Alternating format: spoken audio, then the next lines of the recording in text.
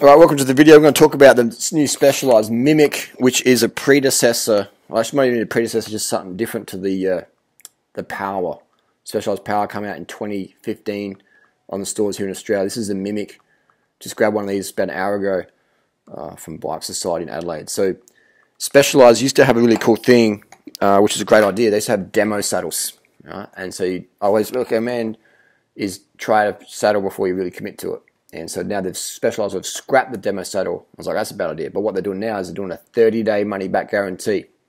So if you go to a local specialized dealer, grab yourself uh, one of these saddles. If you're looking for a different saddle, try out the Mimic. I just put it on a, a Natasha's bike and I rate it. So it's definitely worth a go. Uh, what I like about it, it just, just makes you sit in your sit bones more. You might hate this fucking saddle. Me, just riding it maybe for two or three minutes, I'm like, hmm, this saddle's got a lot of potential for me would overtake a lot of my other saddles, being the, the Phenom, which is one of my favourite ones. I like how straight it sits. This one's got a bit more of a curve in it, but this is one of my classic ones here. But this, ooh, you know, this has definitely got a lot of potential to mimic. So again, saddles is a personal preference. I do recommend though. I love the Specialized saddles. They got this thing called the Body Geometry, which came out in uh, 1999, and it talks about you know having a bit of a groove in there, making you sit in your sit bones. Um, I think it was Andy Pruitt they worked with, who was a urologist potentially, and just designing saddles a bit more anatomical for male and female genitalia. And Natasha, you've been rating your specialized saddle fit, haven't you? You know, right, mind it? Natasha's like, hurry up and make the fucking video. I want to try the saddle out. Um, so yeah, another one I've liked as well has been the Rival. Again, it's got that body geometry channel on it. It just makes you sit on your sit bones, aka ischial tuberosities. And so yeah, so the Mimic, definitely recommend it. Uh, I like the Toupee as well. So yeah, again, just go to your local specialized dealer and uh, and try one out.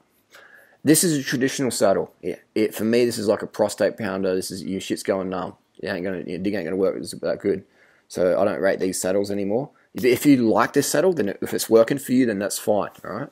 Just because it doesn't work for me, when it comes to saddle, might work for you. Fair enough, and vice versa. But if you are experiencing numbness, then play with your saddle. Also play with saddle angle. All right, a lot of people have their saddle up like that. Then that can cause a lot of pressure at the point here on your perineum or your gooch or your your mutt. And so what you want to do is maybe generally have it dead flat or maybe a little bit down. If it's too tilted down like your Jaroslav Kulhavy style, you'll have a lot of pressure on your handlebars on your hands.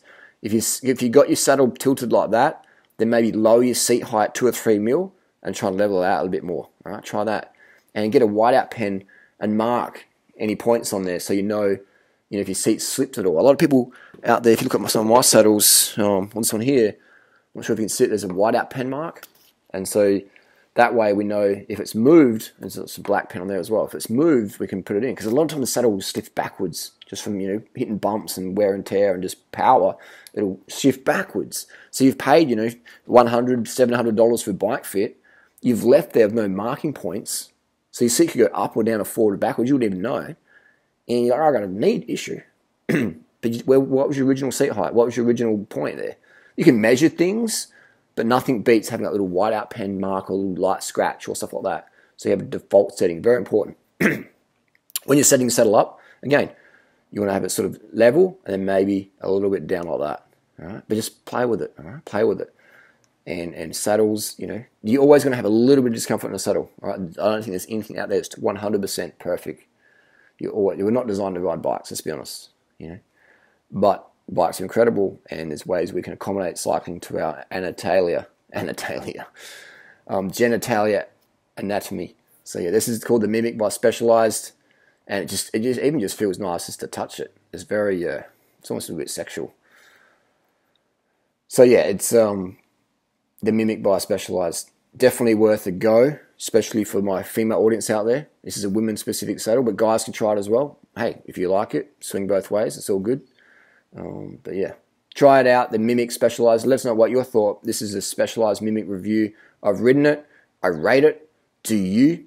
Do you rate it or do you fucking hate it? Let us know in the comment section down below.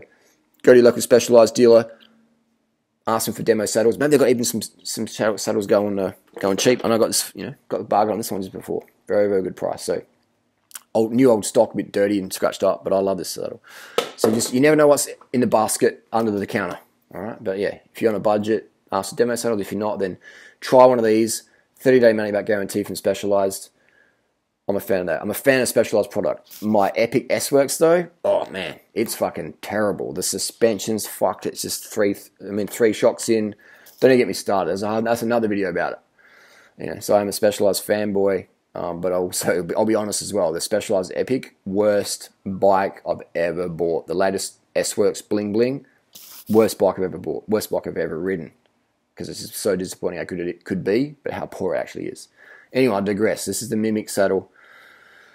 Test it out. It's got this really interesting foam in there. It's very interesting foam. Bit, bit, it's a bit reminiscent of the old. Pardon? Memory foam, Natasha said. Yeah, you got any? You got any? Uh, you got any? Uh, you want to chime in here at all? No, I want you to hurry up. Was, all right. So the next video will be Natasha's opinion on it. It's a bit very soft, bit like this uh, this Nike. So everything's going max cushioning now, and that is the little packet it comes in. So nice recyclable packet. It's got some information there. Go to check out wetspecialized.com information if you want more information about it. But uh, yeah, it's uh, it's definitely a step forward in the right direction. I'm a fan. Durianrider is a fan. Durianrider approved saddle. I rate it. You might hate it. Test ride, then decide. Carbs, carb the fuck up, motherfuckers. Carb the fuck up. Corn, rice, potatoes, yams, bananas, mangoes, dates, plantain, melons, blueberries, blackberries, mulberries. Get them motherfucking carbohydrates in. Go vegan, motherfuckers. Carb the fuck up, the fuck up, the fuck up.